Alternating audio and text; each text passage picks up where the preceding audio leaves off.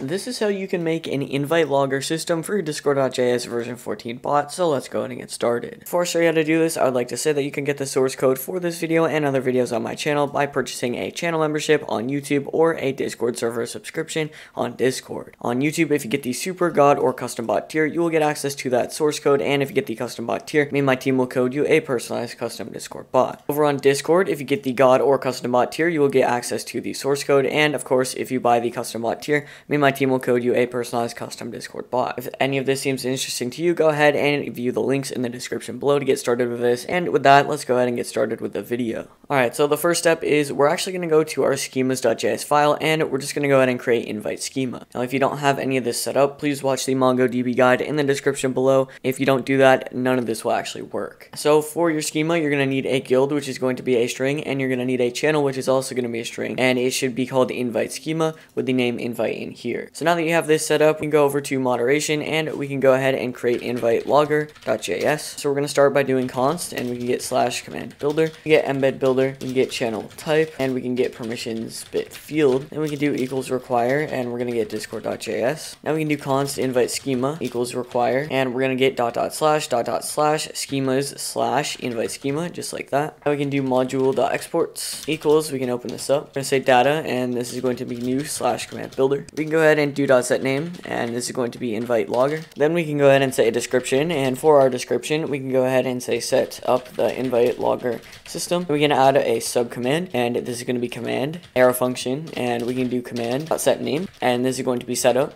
And then we can go ahead and set a description for our command and this is going to be set up the invite logger system. Then we can go ahead and add a channel option and this is going to be option arrow function option dot set name and this is going to be channel. We can go ahead and say a description and we can say the channel you want to send the invite logging in. Then we go ahead and do set require and we're going to make this true. Then we can do add channel types and this is going to be channel type at guild text. Now we can actually go ahead and copy this entire subcommand and we can go right under the subcommand and we can actually go ahead and paste it. Now we're going to go ahead and delete everything but the description right here. Then we can go ahead and add a parentheses back. Then we can go ahead and add a comma. We're going to do async execute. We'll do interaction and we can go ahead and open this up. In here, we're going to go ahead and check a few things. So we're going to do if and we're going to say no interaction.member.permissions has and we're going to do permissions bit field.flags.administrator. Can go ahead and return await interaction.reply. Do content and this can be you don't have permission to manage the invite logger system in this server. And then we can go ahead and make this ephemeral. Next, we can go ahead and get our options. So we can do const options equals interaction and then we can do const sub equals options that get sub command. Then we can get our data. So we're going to do const data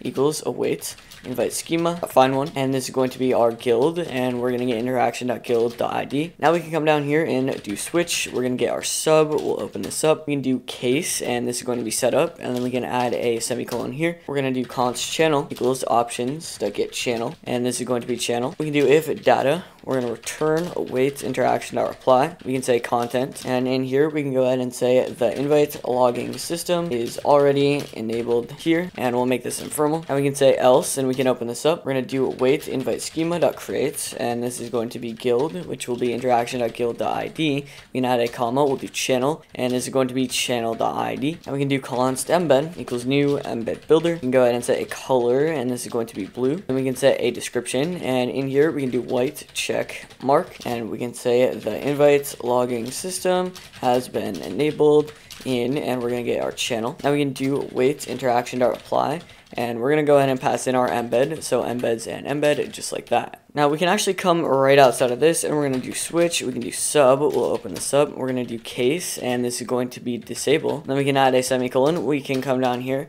and the first thing that we're actually going to do is we're going to edit the sub command because I forgot to do that above. So up here we can do disable and then for our description we can say disable the invite logging system. Now we can actually finish what we were doing down here. So we can say if no data, we can return wait interaction.reply. We can say content and we can say there is no invite invite logging system set up here and we can make this ephemeral. Then we can go ahead and say else and we're going to open this up. We can say await invite schema.delete many and we're going to get our guild which is going to be interaction.guild.id. Now we can do const embed equals new embed builder and we can go ahead and set a color and this is going to be blue. we can go ahead and set a description and in here we can do our white check mark again, and we can say the invite logging system has been disabled. Now we can go ahead and do a wait interaction to reply, and we're going to get our embeds, and we can pass in our embed just like that. So with that, we are done with this portion, so now we can move over into our index.js file. We can start off by defining our schema, so we can do const invite schema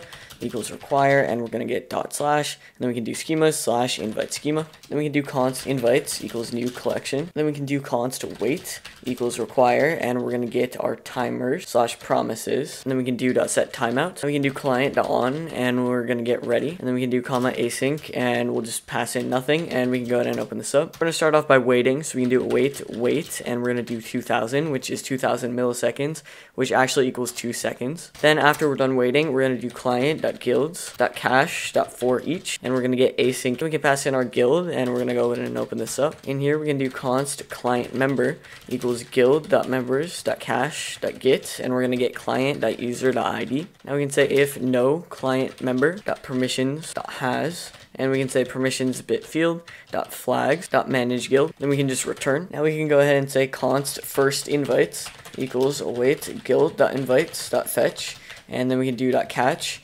error and we can just console.log our error. And we can do invites.set and we're going to get guild.id comma new collection and we can do first invites.map and in here we're going to get our invite. Then we can open this up with an arrow function. In here we can open this up and we'll do invite.code comma invite.uses. Then we can add a semicolon here. So now we're actually done with this part of the code. So we can actually make a new client.on event. So we can do client.on. We're going to get events.guild member add and then we can do comma async member and we can go and open this this up. In here, we're going to get our data, so we can do const data equals await invite schema dot find one, and this is going to be guild, which is member guild id. And we can say if no data, we can just return. Now we can say const channel id equals data channel. Now we can say const channel equals await member guild channels dot cache dot get, and we're going to get our channel id. Now we can do const new invites equals await member guild invites dot fetch. Now we can do const old invites equals invites.get and we're going to get member.guild.id. We can do const invite equals new invites.find and we can do i arrow function i.uses and we can do this sign and we're going to do old invites.get and we're going to get i.code. Now we're going to do const inviter equals await client.users.fetch and we're going to get invite.inviter.id. Now we can go ahead and actually send this so we can do inviter and then we're going to come down here, we're going to do a question mark, and we can say channel.send, and we can open this up. We're going to say member.user.tag, joined the server using the invite, then we can do invite.code, and then we can say from, and we're going to get inviter.tag. Then we can say the invite was used, and we can pass in invite.uses times since its creation. We can do a colon down here next, and we can do channel.send, and we can say our member.user.tag joined the server, but I can't find what invite they used to do it, just like that. Uh, one other thing, just remove the semicolon if you added it there. And yeah, so that's all we have to do for the system, so we can go ahead and restart the bot and test this out. Over in the Discord server, we can actually go ahead and test this out by enabling the system, so we can do slash invite setup, and we can go ahead and choose our channel, so I'll just do general chat, and as you can see, it's going to go ahead and say my invite has been set up. So now if I go ahead and create an invite, so I'm going to create a 30 minute use, and we'll give it 5 uses, and we can go ahead and grant that invite link, we can go ahead and copy it, and I'm just going to go ahead and invite a few people. And as you can see, as soon as somebody joined the server, it's going to go ahead and say that somebody joined the server using that invite I created from me. And the invite was used four times since its creation, and that's because I did have a couple of other people join, I just didn't show it. So now we can actually go ahead and disable the system for the video. So if we do invite logger disable, as you can see here, it's going to go ahead and disable the system. So that's how you can code an invite logger system for your Discord.js version 14 bot. If you need any help with this, go ahead and join the server in the description below, and just go ahead and join anyways because it's a pretty good coding community. And with that, I'll see you guys in the next video.